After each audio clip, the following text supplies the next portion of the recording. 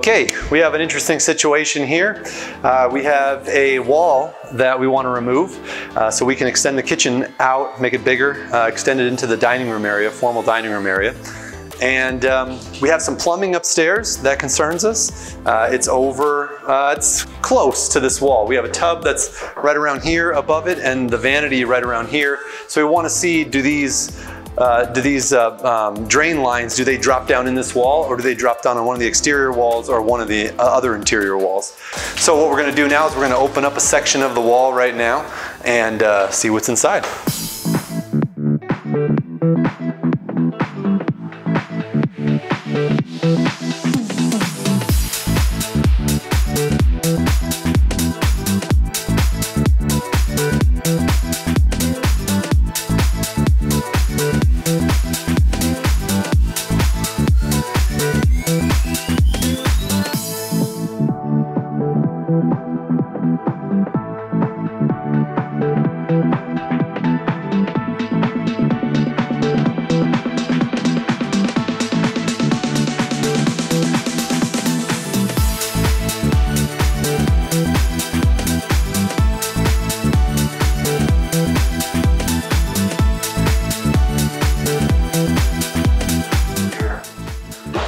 Looks like we have a shear panel here, a shear paneling, uh, that lets us know this is uh, most likely a bearing wall. Uh, now we're gonna remove the shear paneling, see what's behind it.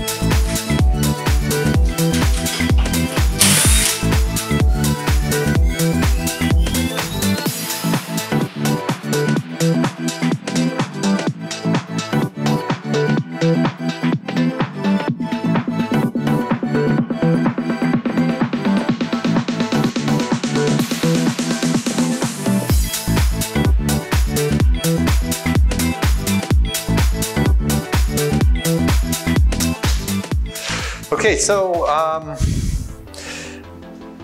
every issue we could have that's uh, a problem is in this wall. We have drain lines, we have supply lines, and we have bolts in the bottom plate, which means that this is a bearing wall. Uh, the floor joists that we suspected were going this way are actually probably going this way. So we're gonna have to do a beam above this wall, posts, um, and then relocate these drain lines um, probably to an exterior wall, this exterior wall here, and drop it down. All possible, but uh, just means a little more work. All right, so here we are in our uh, kitchen remodel. We have a shear wall that we just removed. So once you remove a shear wall, shear wall is meant to uh, stop the house from tipping one side or the other, right? You have your load bearing walls, which keeps loads from falling in, and then you have your shear strength on your walls, which prevent the walls from doing that. That's what we had here. It was not a load bearing wall, but it was a shear wall. Uh, so we took it out. We had to dig, you can see the concrete here. We have it all cut up. We had to trench it out and put in a grade beam. So that is, uh, you know, metal rebar and concrete. And then we had to embed some brackets for uh, these big 8 by 8 um, uh, steel columns. So this is 8 by 8 steel columns that's welded to an 8 by 8 steel beam that goes across. Then you attach it to the floor, the subfloor of the upper floor there. Now that the house basically can't tilt back and forth. Well, this, side, this part of the house. So, so basically this was the wall that separated the, uh, the dining room from the kitchen. So the kitchen originally ended right here. So as you can see, we're gaining a, a lot of space for the kitchen here. And we're gonna have this real enormous island that goes in this kitchen. Uh, cabinetry is gonna come all the way across these two walls. And then we have some barn door sliders that are gonna open up here to go into the next room. And then we have another wall of cabinets on this side here. I just wanted to show you guys the progress here and go over some of the details.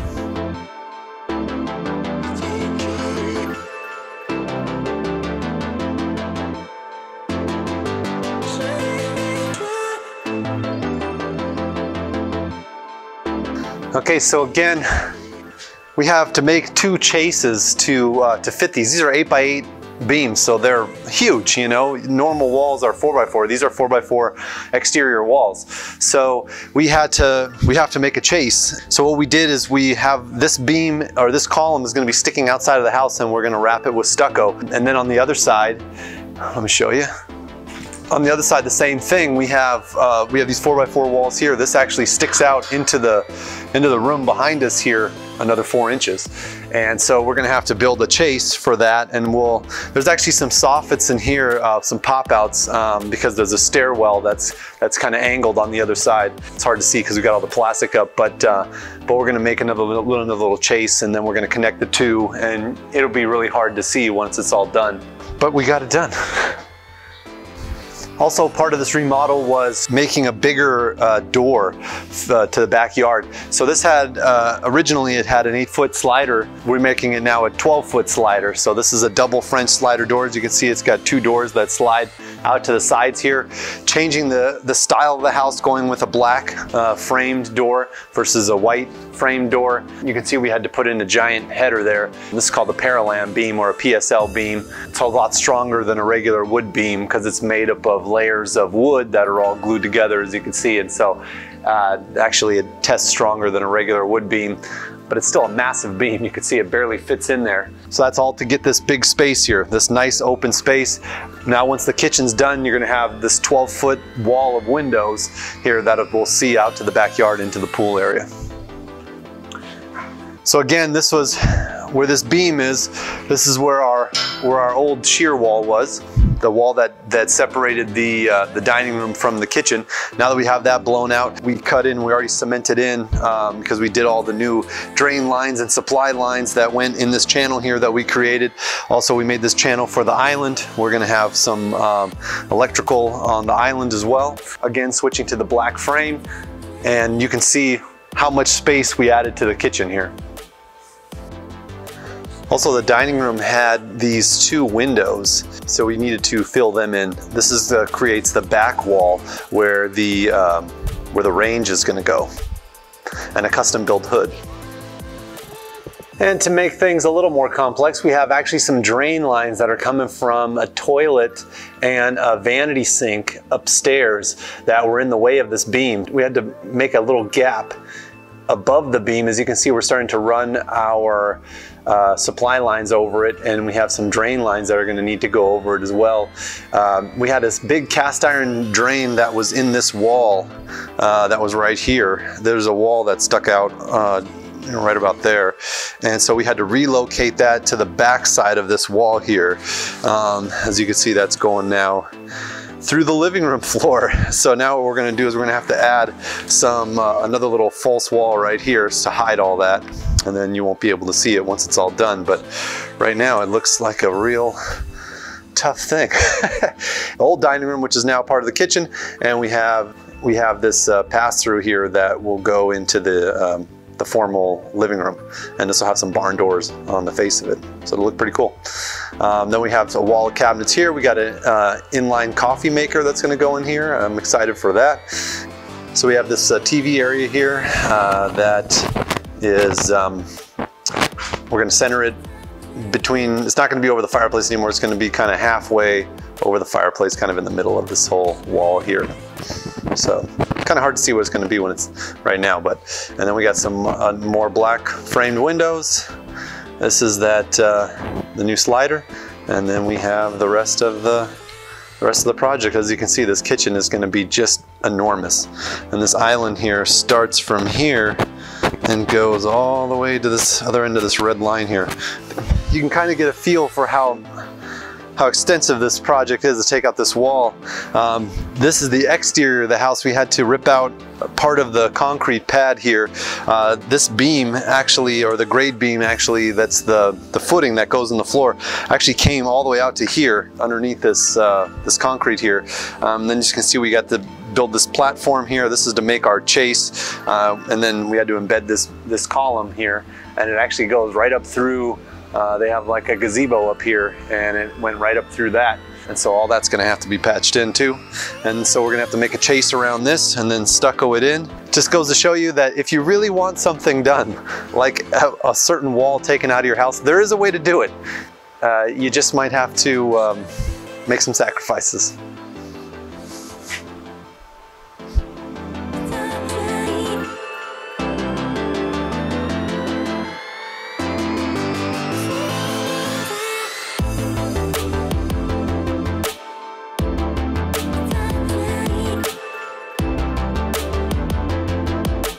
Hi, I'm Jay with Classic Kitchens Etc. and welcome to our latest kitchen remodel. I am very happy about this one. Very excited to show you guys this one. This is one of my absolute favorite designs that we've done. Client came up with a really cool concept, showed me the photos, and I'm like, yes, I want to do this kitchen. I cannot wait to do this kitchen. Started off with a removing a, a shear wall, elongate the space, you know, create a, a, a kitchen that included the formal dining room into the kitchen space. This used to be the dining room where I'm standing now.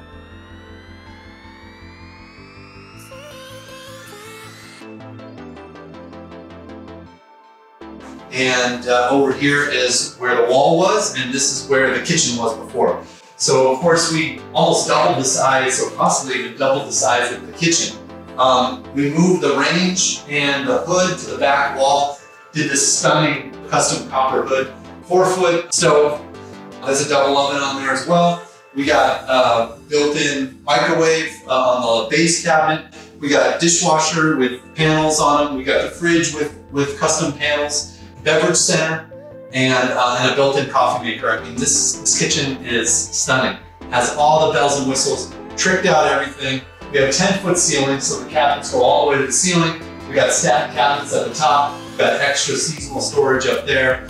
We have white marble looking uh, countertops. And this actually goes into a, uh, waterfall edge. We waterfall both sides of the island and also this perimeter uh, countertop here. We have a, another built-in wet bar area that we did accented uh, uh, wood, and we did that same accented wood on the island. The cabinets around are, uh, are all black matte finish, and then we have some barn doors that go into the uh, formal living room that uh, we also stain that same uh, color as the cabinets. It's called toffee. So we wanted seating in the island. This is our one of the longest islands I've ever done, possibly even the longest island I've ever done. I'm gonna actually take out my tape measure and measure exactly how long it is. So it is 13 and a half feet, taller than a basketball hoop by about uh, three and a half feet. Has room for seating and storage, so we have some big banks of drawers on this side. Again, great for pots, pans, all that good stuff. We wanted to be grandiose, but we also needed the walkways on both sides. We were tight on the walkways once uh, we had the design done. So we ended up with a 44 inch space on this side and a 41 inch space on this side. We have a really nice space in between the island and the uh, and the, the range. This is 50 inches. So 50 inches is a really nice space. Again, you have a nice walkway through the barn doors into the, the living room. Uh, sink stayed in the same place. We just replaced the window. Actually, I think the sink couldn't stay in the same place. Uh, it was over there. So that was moved down. We closed in a window that was there, put in a new window here. We had two windows on each side of the dining room. Those got closed in. And then uh, we did this huge uh, slider door in the back here. The quartz is uh, by Arizona Tile. Uh, color is called Calacatta Miranda. It's a white with some pretty gray veins going through it. Uh, you know, light dark gray veins going through it. Not a lot of gold in there, like uh, like some Calacattas are. Uh, so it's you know kind of meant to be like a uh, more like a Carrara. We did a mitered edge here, of course. So your joint for the countertop is right here. It's practically invisible. Um, and then we returned it on the sides here, and then that butts into the toffee um, um, wood accent. We have seating here for uh, four comfortably. Right now the chairs are set up for four, uh, but you can easily have six and still be comfortable. Going with pendants over the island, and they track the whole length of the island, and we stepped the pendants. So we have the two end ones a lower and the two middle ones a little bit higher. And uh, just to give it a little more, more style. We have black hardware uh, plumbing fixtures with uh, gold accents. We did black handles on the on the drawers on the, on the island cabinets, matching brushed gold around the perimeter cabinets on all the black cabinets. So everything, every little detail was thought about. The result is just a really stunning kitchen.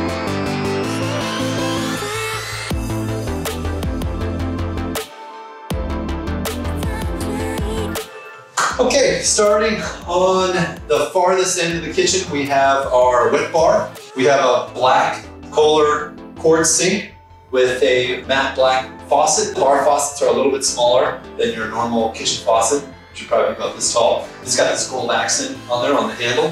We did a toffee color uh, stain on this whole cabinet insert here. Now this is floating shelf. I mean, we built this custom. So what we did is we ordered just the parts and pieces to this. Most of our cabinets come like furniture, you know, in a box and they're totally put together. Well, for the most part, they're missing the toe kicks, they're missing the crowns. Obviously, you got to put in all the fillers and all that good stuff. But for the most part, the, the main part of the box is, is complete. Uh, this one right here, no such thing. we had to build it all from scratch. So we started off with some finished end panels on the side, finished panel on the back, added in some floating shelves. I mean, the whole thing is custom. It just turned out so killer. We actually ran some whips. We ran that in these different locations here so we could run these little strip lights underneath that backlights the, the cabinet, I mean, backlights the shelves. I mean, this thing just turned out really, really cool.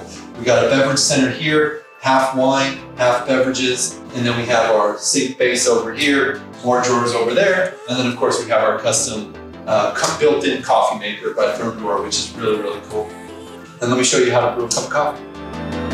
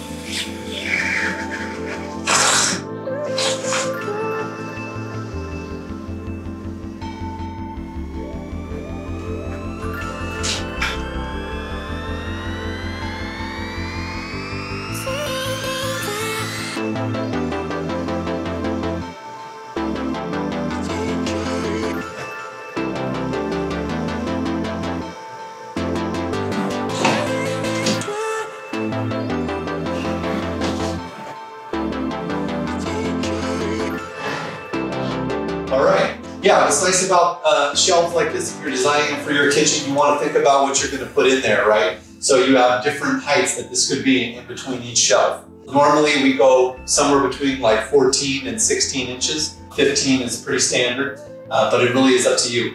Except the bottom. The bottom one you want to stay at least 18 inches off the countertop. That's a normal bottom, 18 to 20 inches. That's a standard size or standard height off the countertop for your either your uh, upper cabinets or uh, any shelving.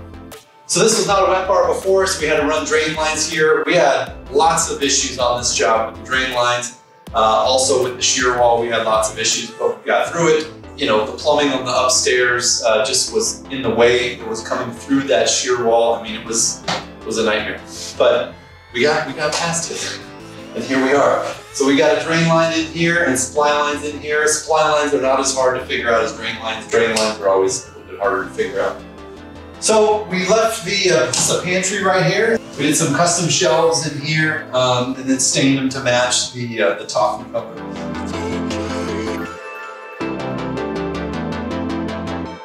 All right, so past the bar, we have the cabinet that we put the um, coffee maker in and it says appliances rinsing right now, so it's self-clean, that's really cool. Uh, we have just normal cabinets above it, extra storage, and then seasonal storage above that.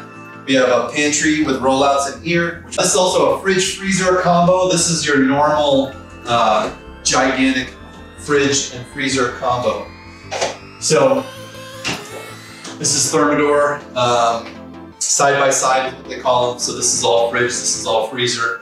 And then we did uh, custom handles on the front of them. Door handles match the uh, drawer handles here. They're just uh, appliance handles, so they're a lot bigger. You need to have venting for the coffee maker. So we designed this open cabin here so we could hide venting on the side. You know, so now we have like a little display shelf above it, you know, has a dual purpose of having venting for the coffee maker. Coffee maker needed a drain line, by the way, supply lines, and venting. It was a very finicky appliance to, um, to you know, engineer the installation. And that's what ends this side of the kitchen. Actually, the wall was like originally right here. So you can, you can see this was the original kitchen and we've, we've added so much extra space. So we had this uh, pass through to the formal living room, which we wanted to keep. You know, we didn't want to just fill it in and make this like an alcove kitchen. We wanted to keep it open, right? So you got entrance from the other end of the kitchen, from the backyard, and then also this entrance right here. What we had to do is we had to fur out this wall, basically build out this wall a lot farther than what it was before. It was only 14 inches before. So we had to build it out here. Uh, we had to make it a little bit wider and then create our own opening for these barn doors. So these are some really cool custom barn doors. They came to us unfinished and then we stained them to match the uh, cabinetry and they just, our finisher is amazing. I mean, they look almost identical to the cabinetry. All right, and these open up. Uh, that gives you access to the formal living room and they actually have it set up right now as more of an extension of the kitchen, more entertaining type of space. Along the back wall, uh, we have, again, upper cabinets all the way to the ceiling, 10 foot ceilings. We have the microwave here. And these are, this is a drawer style microwave and I believe that uh, you press a button to open it. Cool is that? Put your thing in there. It's got the buttons here, shows you what you got, you know, cook popcorn or whatnot. Press the button to close it. a lot of really cool bells and whistles uh, uh, on this build. Same Calacatta Miranda countertops, and then we ran them up to the ceiling as well around this gigantic four foot copper hood. Um, not copper, it is a brass hood. Totally custom, uh, corners bent. Again, the whole thing's custom. The insulation is custom. Uh, the patina on it, this is patina, um, makes it look aged. You know, that, that took uh, some time to do that. But we finally got it all done, got it installed. We got a matte black pop filler over the stove as well.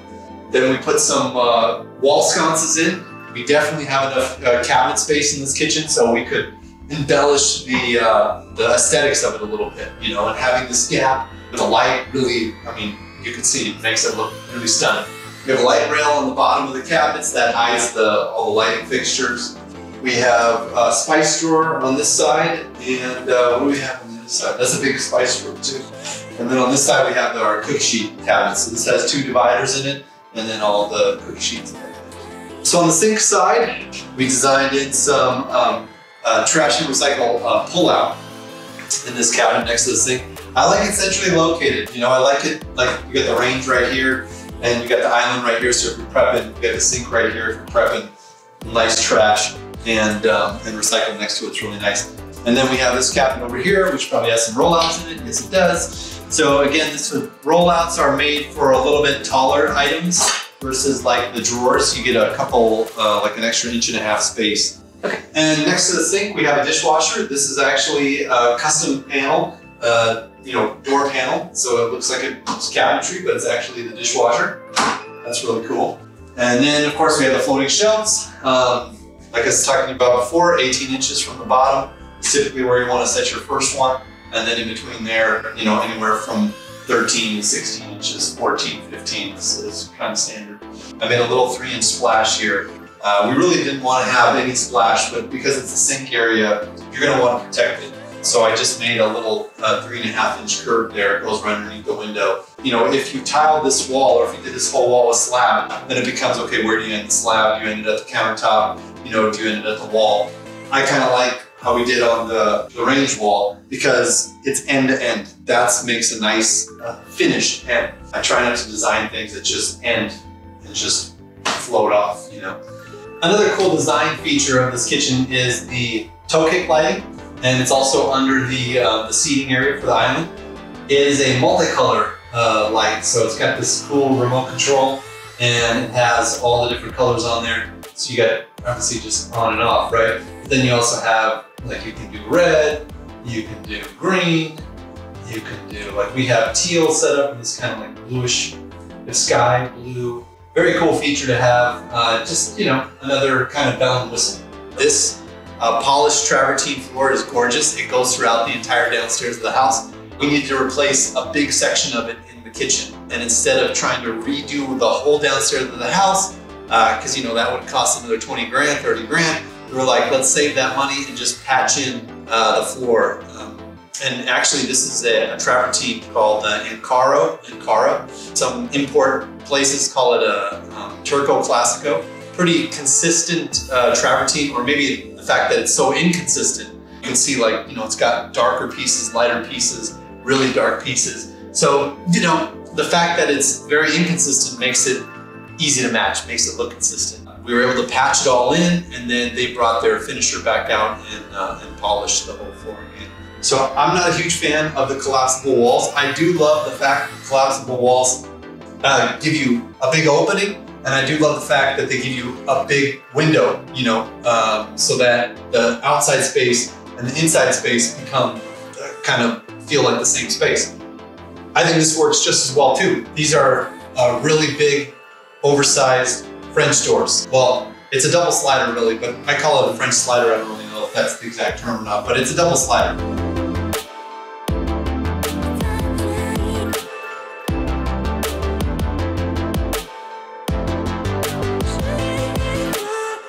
With the two inside panels open up, You've got, um, you're gonna have a nice clearance here. So if you had parties, I mean, this is about five feet opening right here. Now I know it's not as good as if you collapse the whole wall down, so maybe instead of five feet, you have eight feet. But I think once you sacrifice having the five foot opening, you gain screen doors in the middle here. So when this is open and you have the screens, now you don't have any bugs coming in. But you still get that nice wide opening. If you had a party, you could leave the screen doors open if you wanted to. Um, but if you're just chilling here at home and you just want the nice fresh air, you can have just the screens closed and the whole door open. Another cool part about these is that they are way less expensive than those collapsible walls. Normally those collapsible walls, they're normally, I, I roughly guesstimate, you know, when I give out uh, prices that they're about $1,200 a lineal foot. You know, so if you have, like what we have here, I think this is a 12 or 14 foot opening, you know, you'd be at like uh, $20,000 for just the door, right? So this door is like six grand uh, and then installation. So you're, you're like a third the cost. So you save some money, it still brings in the outside space. You have screens on this, which you don't have on the other door. The only thing you're sacrificing is one panel uh, doesn't open. So instead of having three panels open, you have two panels that open. Across from the kitchen, we have our entertainment center area. This was originally, uh, I mean, still at the fireplace. We didn't touch the fireplace box, but we just changed everything else. This had some kind of a built-in dealie here. So um, and it had a little raised platform and everything. We ripped all that out. Got this base cabinet, matches the kitchen perimeter black cabinets. We got the toffee shelf that matches the toffee accents in there. So this really ties the two spaces together. Uh, client painted the top of this wall matte black. She did a really good job. And um, then we got this uh, kind of metally looking uh, tile for the surround of the fireplace. Trimmed it out with black Schluter as you can see, it turned out really cool. Oh, we also took the same tile that's on the face here, cut it into smaller pieces, and then did a herringbone pattern on the back side of this, uh, of this wall here as another little accent. All right, and that is the entire kitchen and entertainment center space. I hope you guys liked it. I hope you found some really great ideas for your own house. I was really happy to be a part of this uh, process with the client. Uh, she was really great to work with. I love her design concept, and I'm so glad that she uh, she had us bring it to life with her. Uh, it was a really great experience, and um, I'm really happy with the results. I know she is too. Hope you guys liked it, and uh, thanks for watching. See you next time.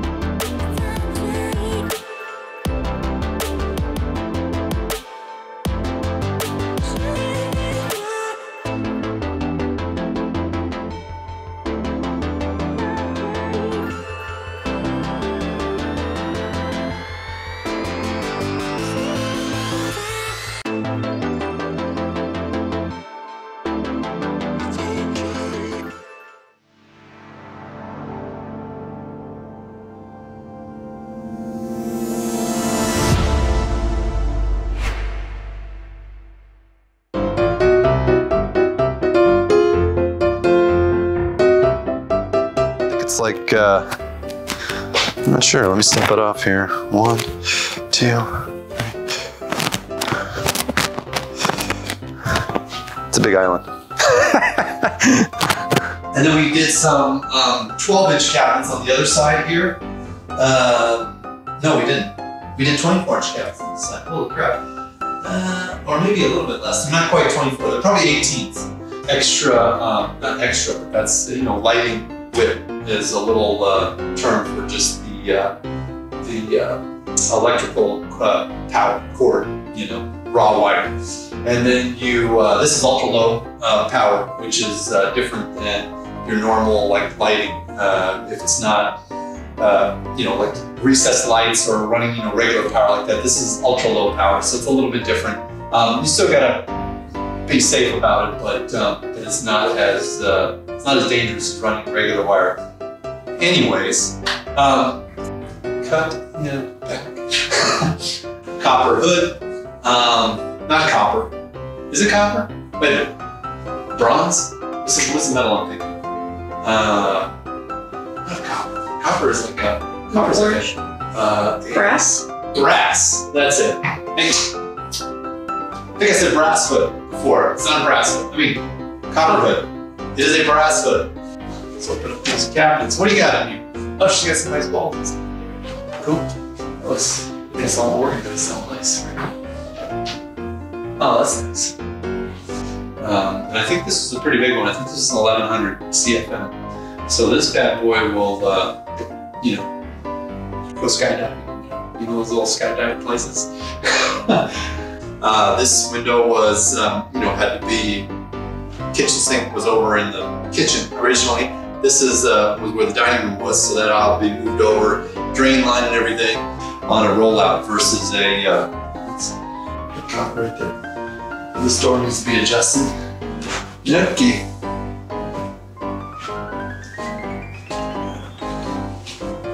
Let's a two that. Alright. And then slow auto flash flash. Oh lord. You could do that too. If you want to have a seizure. Anyways, where the heck were they going with this? Oh yeah, we passed the floor. It was great. Moving on. Very, ex- uh, again, let me see. Let me, let me think about this, what I want to say. Hold on a second. Uh,